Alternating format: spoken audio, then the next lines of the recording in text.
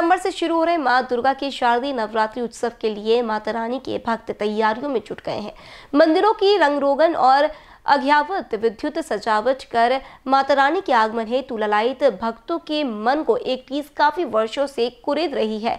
वह है जय माता दी दुर्गा मंदिर परिसर में रोज़ाना सजने वाले चिकन और मछली बाज़ार। जय माता दी, दुर्गा मंदिर प्रांगण परिसर में खुले में सजने वाले इस मछली व चिकन मार्केट को हटाने की मांग क्षेत्र में रह रहे नागरिक और भक्तगण पिछले करीब दो दशकों से करते आ रहे हैं। नगर पालिका तहसील उप विभागीय कार्यालय, जिला कार्यालय नगर अध्यक्ष, नगर सेवक, राजनेता, विधायक, सांसद, नगर रचनाकार, राज्य सरकार उपायुक्त कार्यालय, ऐसा कोई दर नहीं, छूटा जहाँ माता के भक्तों ने गुहार न लगाई हो। लेकिन नतीजा, ढाक के तीन पात ही नज़र आता है।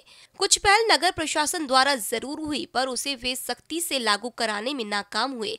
बता दें कि नगर प्रशासन द्वारा इस मछली और चिकन बाज़ार को अन्यंत्र हटाने हेतु कलमेश्वर काटोल रोड पर बड़ी पुलिया के करीब इन व्यवसायियों के लिए पक्के कमरे बनाकर उनसे इन्हें स्थानांतरित करने की सारी प्रक्रियाएँ पूर्ण कर ली गई। लेकिन एन वक्त पर बिल्ली रास्ता काट गई और करीब 20 लाख रुपए की लागत से बना यह मार्केट अवैध व्यवसायी, अनैतिक कार्य और और आवारा पशुओं की आधार स्थली बन नगर प्रशासन की लचक कार्यप्रणाली को उजागर कर रहा है।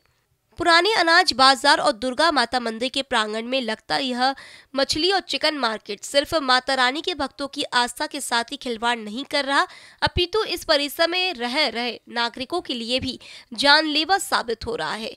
चिकन मछली के मांसों के लोथड़े, मरी हुई मुर्गियाँ और मछलियों की सड़ान इस क्षेत्र के वातावरण को दूषित करने में कोई कसर नहीं छोड़ रही है, जिससे आए दिन इस क्षेत्र के रहवासी डेंगू, मलेरिया, सांसों की बीमारियों से ग्रसित हो रहे हैं।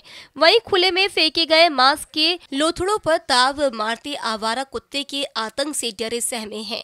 पिछले करीब 25 वर्षों से चली आ रही इस मांग की ओर नगर प्रशासन कब अपना कड़ा रुख अपनाकर खुले में बेखौफ जारी इस मांस विक्रय के व्यवसाय को अपनी 20 लाख रुपए की लागत से बनाए सफ़ेद हाथी पर या अन्यंत्र हिलाकर माता रानी के भक्तों की आस्था और नागरिकों की मांग का समाधान करती है, इस और नागरिकों की नज़रें लगी हुई हैं।